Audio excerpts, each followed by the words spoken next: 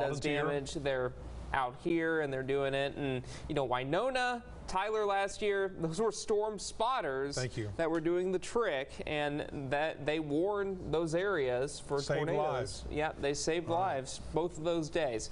Let's go ahead and talk about what's happening in Tyler. Mostly clear skies right now. Folks, it was a great day today, and it's going to be another great day tomorrow. High temperatures, they'll be a little warm. We'll be at about 90. Humidity might be a little higher as well, but Compared to what we've seen over the last few months, this is great news. These dew points are in the upper 50s and lower 60s, or the low temperatures. Sorry, we'll go back to that here real quick. The low temperatures this morning we are, were in the 50s and 60s for the most part. 62 was the low in Tyler, 55 in Mineola. Now let's talk about the temperatures. We are, we're are in the upper 60s and lower 70s right now. Sulphur Springs is at 72, 69 in Mount Vernon, Quitman's at 68. More 60s and 70s the further south you go as well. The East Texas Regional Airport, we were talking about this at the top of this hour. It was 67. It's 69 in Henderson, 70 in Troup, 60s and 70s still across Cherokee County, and we're in the 60s and 70s across deep East Texas.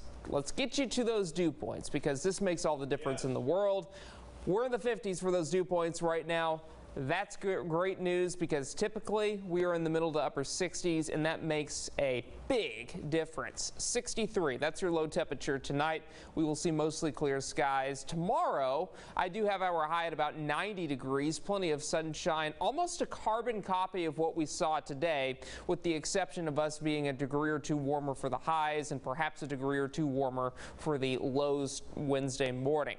Dry conditions continue to take hold. High pressure in place to our northwest, high pressure in place to our east as well. And that looks to be the case here over the next several days. However, this weekend, a few things are going to change and we'll start to see the Gulf open back up and we're going to see more moisture by the weekend. Those winds will shift to the southeast, which will bring that low level moisture in. Speaking of which, it's still humid across deep south Texas, but as we head into your Saturday and Sunday, those dew, those dew points will continue to increase. Middle to upper 60s expected, and then those dew points in the 70s Sunday morning. And this is likely to persist at least through early Monday morning, but it does look like it will begin to break down a little later on after that. We are tracking the tropics, some convection across parts of the Gulf of Mexico, but that's staying well to the south, and it's very unfavorable for anything to develop in the Gulf, which is good news for most.